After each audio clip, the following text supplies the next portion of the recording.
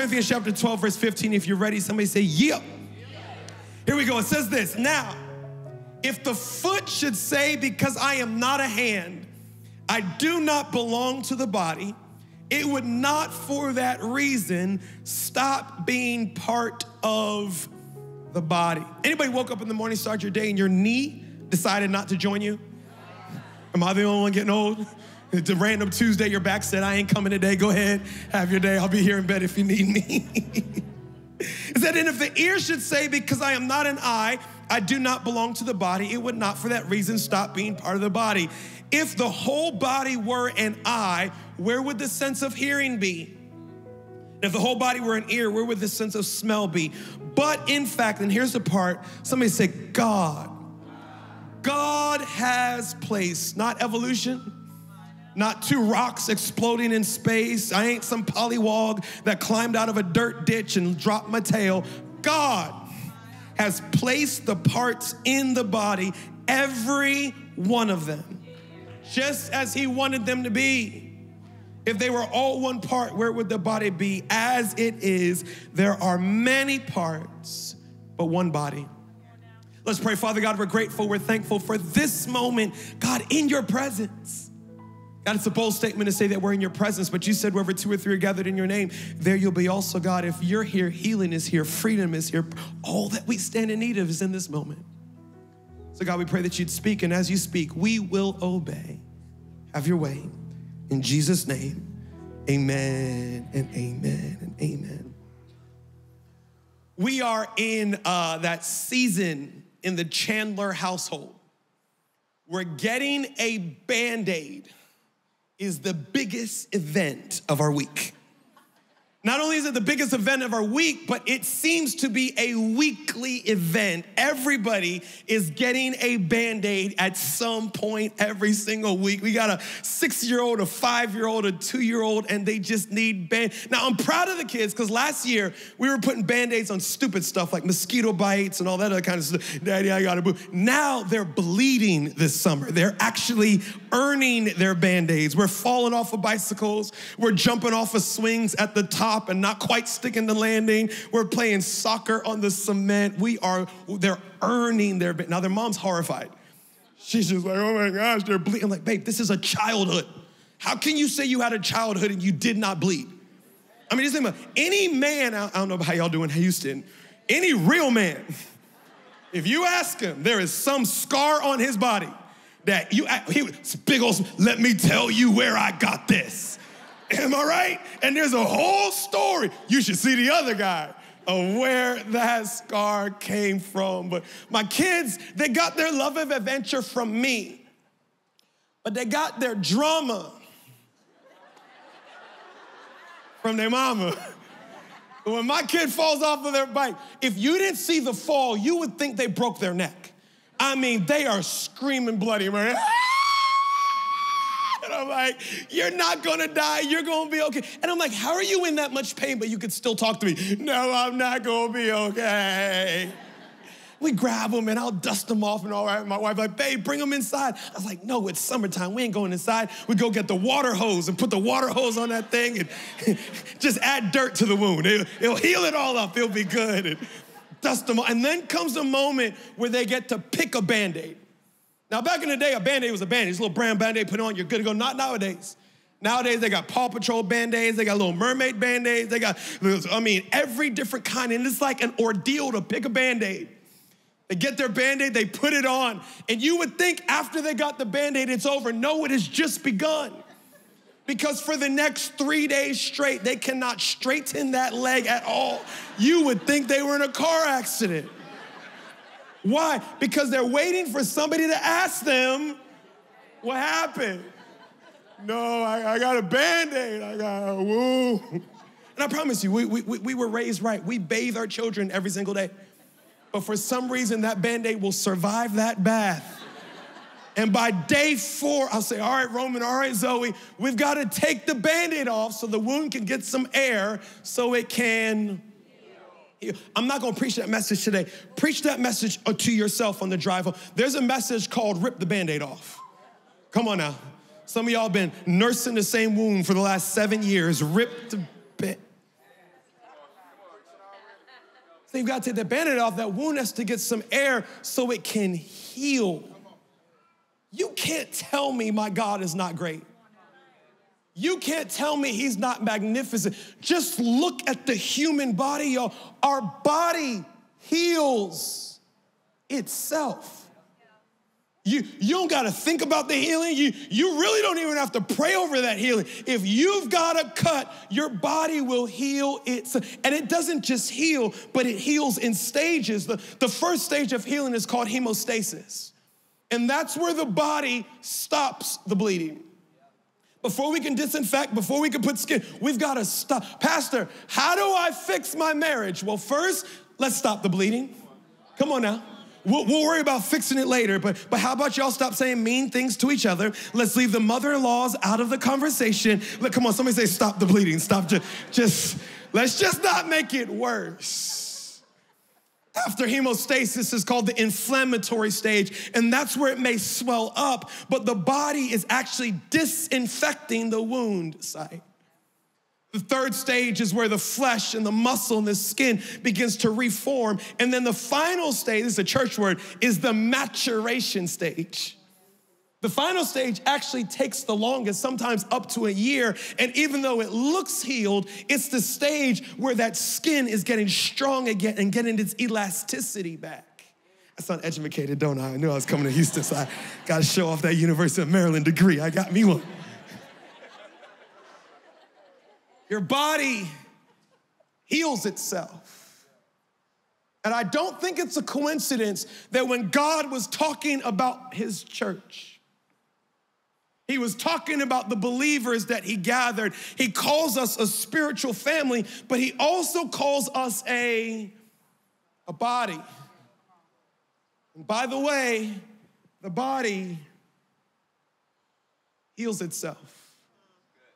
One of the things that I can find is dangerous in a church like Hope City that is such a move of God where thousands of people are getting saved and delivered and transformed and their lives being forever flipped right side up is it's easy to come to a church like this and to feel invisible.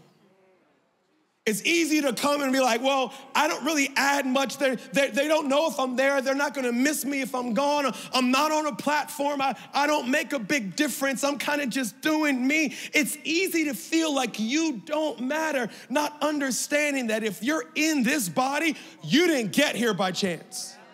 I know you may have seen some IG post or a coworker may invite you or whatever it may be. No, if you're here, God put you here. And if he put you here, he didn't put you here by accident because he doesn't build bodies by accident. You are here on purpose for a purpose. In 2023, somehow we've relegated church to be a place where I just run in real quick, show up a little late after the second song. Y'all know what time church starts, right? I think it's posted on the website. Check it out. Anyway, run out before the message is even over. I got to beat the traffic. Church is not a place where you just come to hear good information that picks you up and encourages you and send. No, no, no, no, no, no, no. This is a body, an interconnected community that God designed to need each other and to heal one another. If you're here, God put you here. If you're here, this church needs you. I'll give you just three quick thoughts. Three quick thoughts. Can you can you write this down? Is this a note-taking church? I don't, I don't, I don't know. By the way, I don't know if anybody ever told you this, but you are 85% more likely to make it into heaven if you take notes in church. hey, I'm trying to just give you the best shot I can possibly give you, trying to help you out. Since we're throwing out statistics, please know 87% of all statistics from pastors are made up, so you can take it. First thought is this this body was designed to heal. This body was designed to heal. You, you, you've got to be all of 24 hours years old before you find out that life is great, but sometimes life hurts. Life has a way of wounding you. Some people say it this way life be lifing. What does that mean? It means life is ghetto. That's what it means. It, it means just sometimes where I could do with life just has a way of wounding you. For some of us, life wounded us before we even learned to read. It was the house we grew up in. It was the mom that was there or not there, the dad that was there or not there, the, the, the experiences that we had coming up that, that wounded us in a way that we can't even put into words. Some of us were wounded by our family of origin. And I discovered if I don't have a biblical worldview, I could be angry at and maybe even hate the family that wounded me. But, but when I understand God's word, I realize if they were able to wound me in that way, imagine how somebody wounded them. I'm thinking dad was messed up, mom was messed up, not realize dad received that wound from granddad. And dad just passed it to me so I can pass it to my son, all in the name of I'm making you a man. Not realizing these are generational wounds that we're passing down. For some of us, that wound came later on in life through, through a tragedy, through, through, through a trauma encounter, through abuse, through some foreclosure or some divorce or something like that. Something we didn't pick, something we didn't plan, something we wish hadn't happened, but now it's a part of our story. Some wounds from family, some wounds from trauma. The, the last source of wounds is the one I don't like the most. Uh, those are self inflicted wounds. Anybody be honest enough to say there's some wounds in my life? I can't blame my mama, she told me not to go. Can't blame my dad, he told me not to date her. Holy Spirit said, stay home that night. And here I am thinking, next thing I know, I've got my heart in my hand, a thousand pieces, and I've got nobody to blame but myself. And the wild thing about these type of wounds is I'm not sure what hospital to take them to. Because when I cut my arm, I go to urgent care and get a few stitches. When, when I break my leg, I go to the ER. But where do I go when I break my heart? Where do I go when it's my self esteem that got cut? Where do I go when it's my confidence that's wounded? What we do is we just start looking around. Well, well, they're wounded. Let me see what they do. And as I watch their life, they're kind of just limping their way through it. It makes no sense crying over spilled milk. So I said, hey, guess that's life. Life is tough, life is difficult. Just keep going. Because everybody knows that time heals all. Said no doctor ever. oh, you broke your leg. Just give it some time, it'll be fine your leg gonna fall off. So we've got these wounds in our soul that we don't know what to do with. We keep trucking on in life, and because the pain increases, we begin to look for medication. Some of us look for medication through love and relationships if I could just find somebody in my life that can love me for who I am and I could pour my life into them, maybe it will make me feel better on the inside. And what we do is we surround ourselves with people, even serving people at our own expense, giving them more and having less to offer every single day. For some of us, we were told, hey, yeah, you've gone through pain, but if you accomplish something great with your life, at least the pain will be worth it. So pain drives us to build wealth and, and to get these accolades and accomplishments and degrees. And we've stacked degrees and we've got zeros in our bank accounts and we have all these accolades, but yet somehow still feel empty on the inside. And there's a season in someone's life where they give up hope of healing. And now all I need is just to feel numb. And here comes the vices. Here comes alcohol, here comes drugs or sex or whatever I can do just to not feel anymore. A, no one told me life is painful, and B, no one told me where do I heal from that pain. In Acts chapter 9, verse 11, it says this. So the Lord said to him, Arise, go to the street called Straight, and inquire at the house of Judas for one called Saul of Tarsus. For behold, he is praying, and in a vision, he has seen a man named Ananias coming in and putting his hands on him that he might receive his sight. This is talking about who we know to be the Apostle Paul. But before he was the Apostle Paul, he was a blind man named Saul. You see, they told Saul that if you got an education, it would make the pain that you've been through worth it. So Saul became a Pharisee, which was some of the most educated people in the land at the Do you know to be a Pharisee?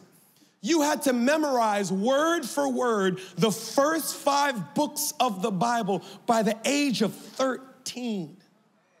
Can you imagine? Some of y'all can't name the first 5 of the books of the Bible, period. Don't play me, Pastor. Genesis, Exodus, Ezekiel, Malachi, first and second, third John. Word for word. And with all that education, it didn't make the pain worth it. And Saul found himself with a run in with God, lost his sight. And here's what he did he locked himself in a room. He said, I will not eat, I will fast until God heals me. Now, hear me. When you read your Bible, don't just read it like it makes sense. You ever read your Bible, something made absolutely no sense? And you're just like, amen, and you just kept on going. It's, someone's reading the Bible, we're supposed to be confused. No, if you read your Bible and something don't make sense, stop, pray. God, that don't make sense. I'm missing something. What am I missing? I'm reading this. Saul is saying, God healed me. And God said, No. And you know, when you've been in church too long, you start throwing God's names back at him. Oh, you Jehovah Rapha. You're God, my doctor. I think that's what that means. You're supposed, God refused to heal Saul. Saul's praying for healing. God ignores him, which, by the way, is a different message. Just because God hasn't answered you doesn't mean he's not working on the solution. Saul is praying here. He goes to Ananias and he said, There is a believer that is crying out to me, and he's waiting on a connection with you so that he can receive his healing. And I'm looking at this and I'm like, God, why would you not heal him yourself? The Holy Spirit says, Stephen, because I'm trying to reinforce my order. Forgiveness comes from God, but healing comes from his body. Bible says this in James chapter 5 verse 16, admit your faults to one another and pray for each other so that you may be what's that word? Come on, Willis. Come on, Katie. What's that word? So that you may be healed. It says the earnest prayer of a righteous man has great power and wonderful results. Now, some of y'all are offended because you don't recognize this verse because you're like me, you grew up in church from baby, so you, you only know King James. You're like, wait, that ain't the verse. The verse says the effective, fervent prayer of a righteous man availeth. Sorry about the splash zone. What's an availeth? Much. As you know, there's a lot of different translations of scripture. And when I read that verse, I'm not gonna lie to you, I picked the most obscure one, the one that says, admit your faults. You know what the majority of translation says? It says, confess your sin. One, to two. Why didn't I read that one? Because y'all church folks, as soon as I say sin, y'all start tripping. Sin? Nope, he ain't talking to me. I'm holy no sin in my life. Because when we think sin, we think our ratchetest day ever. We think in spring break 07, you and your best friend said, Don't you ever tell anybody what happened here tonight. And they're like, I won't tell. I went and told three people before you went to bed at night. I won't tell no. Sin does not mean your deepest, darkest secrets. Now, it does include that, but that's not what it means. The word sin means to miss the bullseye. It means to be out of alignment, it means to be off track. The Bible said, any area of your life that is off bullseye of God's best for you, you gotta tell somebody. And if you tell somebody in that moment, God will bring healing. Hey, if I would be honest with you, when, when that business closed at the end of the pandemic, wasn't just the business that closed, it was my hope that closed with it. It's the last time I said I'll ever take a risk, never again. When, when that person walked out of my life, it's not just that person that left, it was my self esteem that left. With, the Bible says if you would just admit this is off of God's best, there's healing in that moment. Second thing is just write this down, write this down.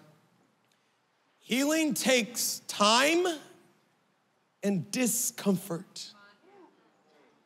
He, healing takes longer than we want, and it's more painful sometimes than the wound was in the first place. I, I had a friend that I, I, don't know what they were doing, jumping off high stuff or something like that, but they dislocated both shoulders, had two rotator cuff surgeries. I'm like, bro, you gotta chill out with that. and as I was talking to them, said, tearing my rotator cuff was not the most painful part of the experience. Yeah, it was painful. Shoulder popped out. They popped it back in. I blacked out. Can't quite remember that. But as I waited for the surgery with the torn rotator cuff, it wasn't painful waiting for the surgery. He said, actually, the surgery wasn't painful at all. They knocked me out. I don't even remember. He said, it was painful when I woke up.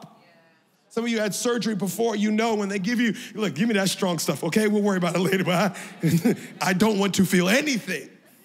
You got that time where, where, where, it's not time to take the next pain medication, but, but the old one has worn off and you got about 15, 20 minutes.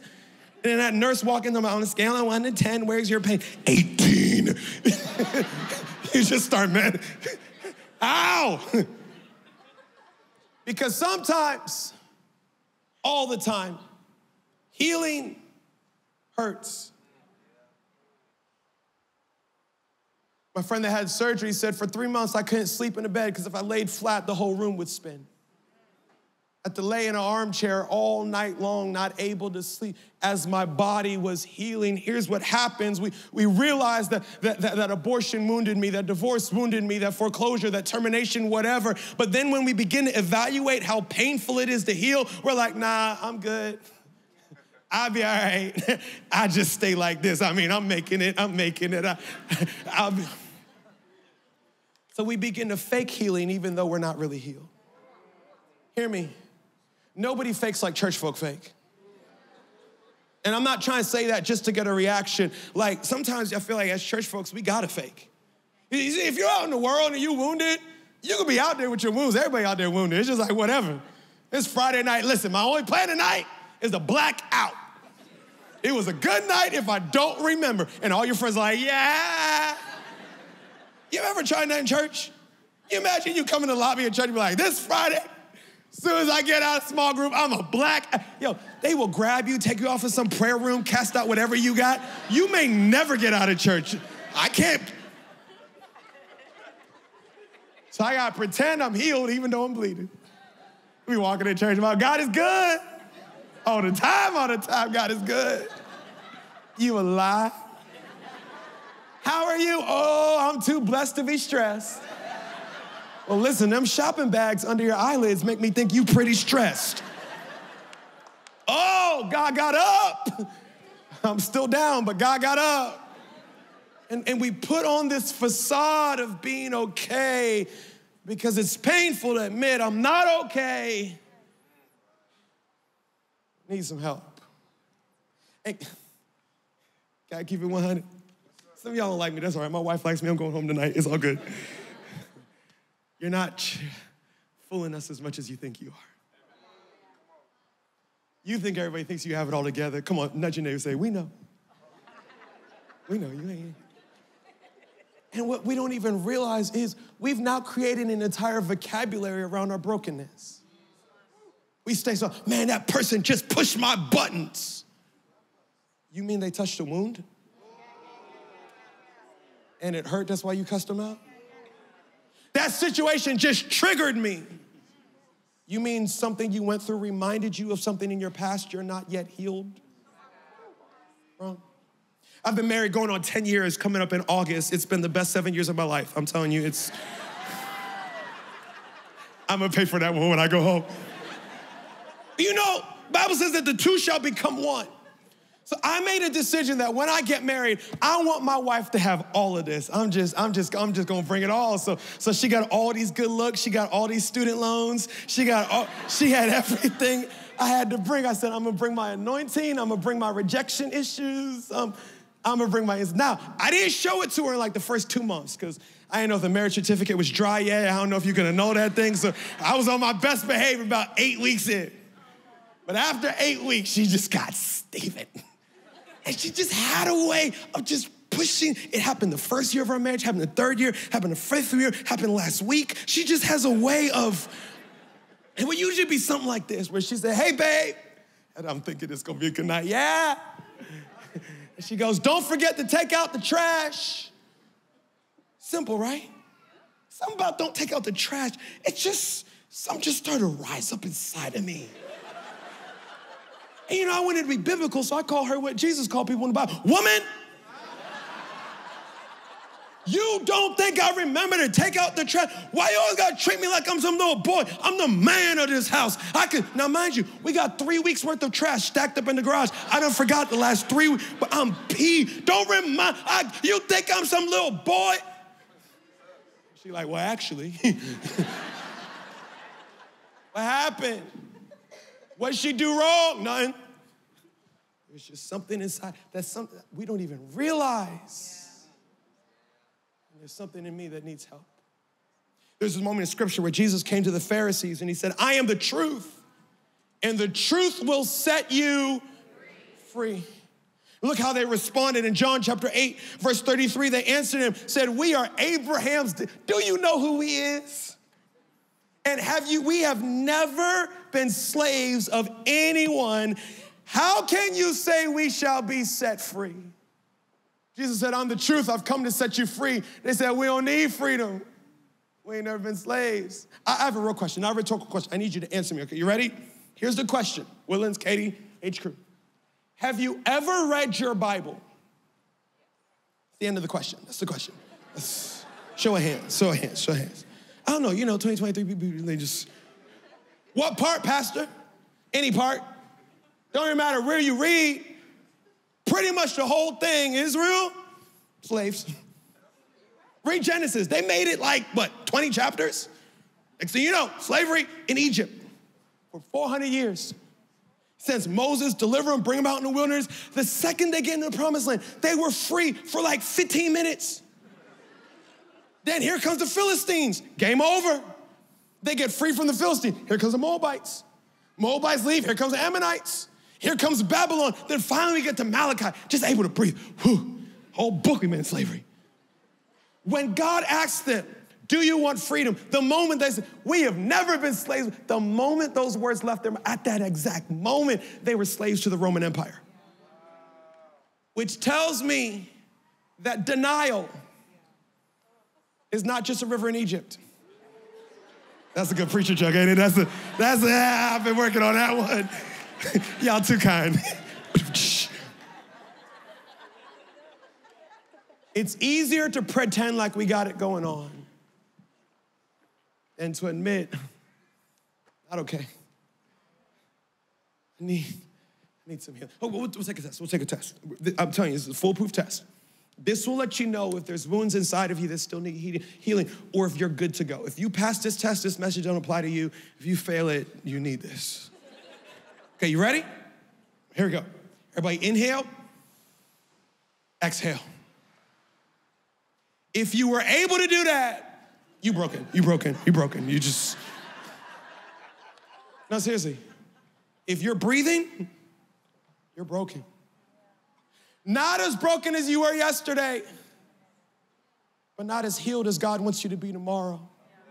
Another test is this if there's an area of my life where I'm not seeing God's best, there's something inside of me that's broken. Listen, if your money's funny, your heart is broken. If your relationships are chaotic, it's not them. Because the Bible says, may you prosper even as your.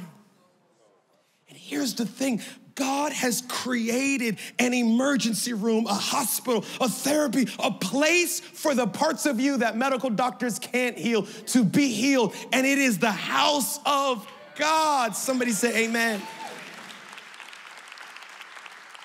As a pastor, we just got to get you to stay. You would not believe how many people run out in the middle of the operation. Question for you. If you're having open heart surgery, they just cut you open, just, we're gonna fix you. When's a good time to leave in surgery? Just think about it. What's a great, wait, can you imagine? Then cut you open, got the clamps.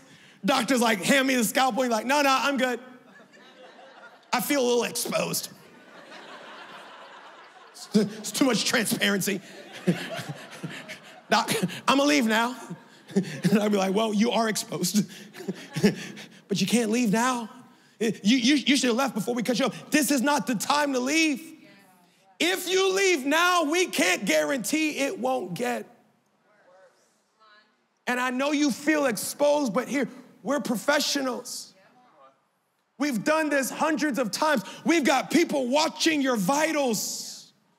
This is a safe environment to heal. If you leave, I, I can't guarantee it won't get worse. People be leaving church for the dumbest reasons. I know I can say that I ain't your pastor, so you don't gotta like me. You're gonna change, oh my gosh, the traffic was unbelievable. I am not going to church. This man hung on a cross for nine hours for you. You can't sit in traffic for three minutes. Come on. I went to the church and they didn't recognize the anointing on my life. They made me go through their growth track. I'm like, do you know I am minister, whoever? I'm not going back. Really? You're gonna let an encounter with another wounded person drive you out of your place of healing? Listen, God's got you right where He needs you so that He can heal and restore and deliver so you can go back and live a life full of abundance. Just don't leave in the middle of the process. How, how does God heal? One way God heals is through His presence. Yeah, you ever come to church, first note of the music, the tear just starts streaming down your face? Especially for us men, we're like, I don't cry. There must be dust in the air. I don't know what it is. Don't you dare be ashamed of tears coming down your face in church. What you don't know is that's God doing surgery on your heart. That is the Holy Spirit healing parts of you that you didn't even know. Broken. Another way God heals is through prayer. He said, when you get with somebody else, maybe in a small group, he said that prayer is effective and it's fervent and it brings healing. Areas that you didn't even know about. Another way that God heals is through his word. Psalm chapter 107, verse 20 says this it says, He sent His word and healed them and delivered them from their destruction. Do you know how God's word heals you? Well, in order to understand how God's word heals you, you have to understand how your wound really is. Your emotional wound is actually a lie that you've believed. So when you hear the truth of God's word, it eradicates that lie and brings healing to your heart. For example, you think it's that abuse that wounded you. It's not the abuse that wounded you, it's the lie that you deserved it. That's what the wound is. You think when that person walked out of your life that, that that's what wounded. That's not what wounded you. What wounded you is the lie that you weren't worth sticking around for. And when you sit under preaching and you begin to hear, wait, God bankrupted heaven for me. He gave his only son to purchase me. I am invaluable. It's their loss, not mine. His word. Here's last thing is just write this down. If they come play, I'll stop preaching. If they don't play that piano, I'm gonna preach till Jesus comes back. Okay. Y'all think I'm playing. Three, write this down. We are healed so they came running out, didn't they? Let's gotta get this guy out of here. We are healed to heal. God didn't just heal you for you to go home happy. He healed you so that you could heal somebody else. Now, if you don't know me by now, I should sing the song. Got time. I'm a little ignorant, okay? I'm a little disrespectful. I said things I ought not say. So I'm preparing you because if you get offended in the next three minutes, it's your fault, not mine. Okay. You ready? You ever been to a funeral? Everyone's like, oh gosh, where are you going? That's it. You ever been to a funeral? And there's always that one person at a funeral, usually an aunt, that's just extra. They just, oh my God. You like close the casket before they jump in. Oh, oh, my, oh my God, they, they were such a good person. Who's ever said they're a bad person at their funeral? Like, of course they're a good person. And then they just say something dumb, ah, I, I guess God needed another angel. That's, that's not where angels come from. That's, that's not even biblical. That's not how that works. And they're trying to pull in everything. We, we gonna make it. We gonna, we gonna make it. I, I don't know how, but we gonna make it. And you're like, I don't know if you gonna make it.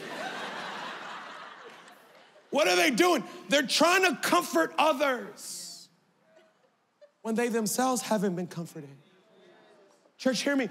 You can't give away what you don't have. And we've got a lot of church leaders, small group hosts, dream teamers, members, maybe even some pastors. They're trying to give away a healing that they've never first received from God themselves. The Bible says this in 2 Corinthians chapter 1 verse 3. Praise be to the God of the Father of our Lord Jesus Christ for the Father of compassion and the God, what's that word? Of all. Whatever you've been through, God has comfort for it. Who comforts us in all our troubles so that we can comfort those in any trouble with the comfort we ourselves receive from God. You have come to church for many reasons, one being that God can comfort and heal you. But hear me, after you've received that healing, don't you dare keep it to yourself. How dare you run to your car and drive off to live your great life when there's somebody sitting two rows behind you and three to the left that need the healing that God gave you? Hear, hear me. There's somebody in the middle right now of what you survived. And they're wondering, can I make it? Where's God? What should I give up? I don't. And and and you've survived. Not only you've survived, you've healed. You've and here you are mad at God. God, why did I have to go through that? God, God, why was I the one? I know you healed me, but it doesn't make sense. God says, listen, I didn't cause that pain. I healed you from the pain. But now can we use that to turn around and encourage somebody else and let them know this period is not the end of your story. Your best days are ahead of you. There's so much more that God has for you.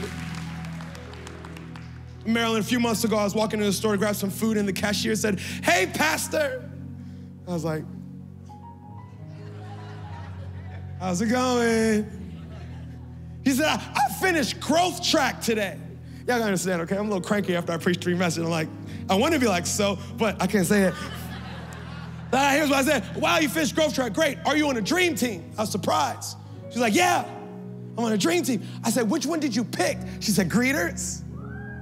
Come on, where the greeters at? Greeters in Houston are anointed because it is hot as Hades outside. You out there in hell still smiling. Welcome to church. I said, Why'd you pick greeters? She stepped from behind the register and said, Come over here. I'm like, Oh Lord. Freedom Conference. And she said, The first time I came to church, I told myself, if church doesn't work, I'm gonna take my life when I go home. I said, Oh, I'm listening now.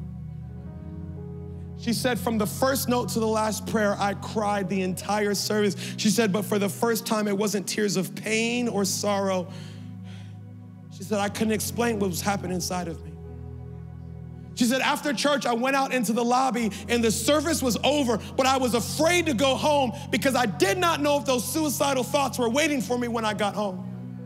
And her words, not mine. She said, I was standing in the lobby like a lost puppy. That's the phrase she used. And she said, Some greeter came up to me and said, I don't know what's going on in your life. Listen up, you nosy church folks. She said, I don't need to know what's going on. Use that line, mind your business. He said, But the Holy Spirit said to give you a hug. Do you mind if I give you a hug? This girl said, Pastor, that hug healed me. She said, I joined Greeter's team because I want to be able to give another lost puppy a hug that does not know what they're going home to. And watch this. She said, and I know what they look like because I used to be one standing in the lobby. Hear me. Some of you, God has healed you from some things, but you can still recognize it on other people. You can, you're going through it right now. You're going through it right now. And that person needs the healing that God has placed inside of you. That's what the church is. That's what the body is. A group of people that have been healed are being healed and are hearing others to the glory of God. Go through Growth Track. Join the greeters team or one of the other teams. Don't just rush out, linger in the lobby and just see who the Holy Spirit draws your attention to. You need this place, but there's somebody in this place that needs what God has placed inside of you. Let's pray, Father God. We're grateful, God. We are thankful. Come on, can you just open your hands right where you're sitting, all the locations? God, you're healing right now. God, you're restoring. God, you're reminding that not one person is abandoned. That what the enemy meant for evil, God, you're going to turn it around. To be a beautiful part of their story. Right where you are with your eyes closed and your head bowed, if you could pray this prayer with me, say, Holy Spirit, what are you saying to me? Just give God a moment to make this supernatural moment real to you. For some of you, God's healing you. For some of you, God is reminding you your story. For some of you, if you would be honest, you'd have to admit, I know church, but I don't know God. I've never actually given my life to Jesus. Maybe you're like me and you grew up in church and you know all the church stuff, but you've never surrendered to the God of the church. Or maybe you're new to an atmosphere like this. You didn't even know God wanted you. Guess what? He does. Now that you know how you're gonna act. You're in here and you say, I need Jesus in my life the way you're talking about, Pastor. You can make that decision right now. If you say, I need Jesus, do me a favor. Pray this prayer with me right now. Say, Lord Jesus, thank you for thinking about me when I wasn't even thinking about you. It was your blood that erased my sin, it was your death that forgave all my mistakes. In this moment, I surrender.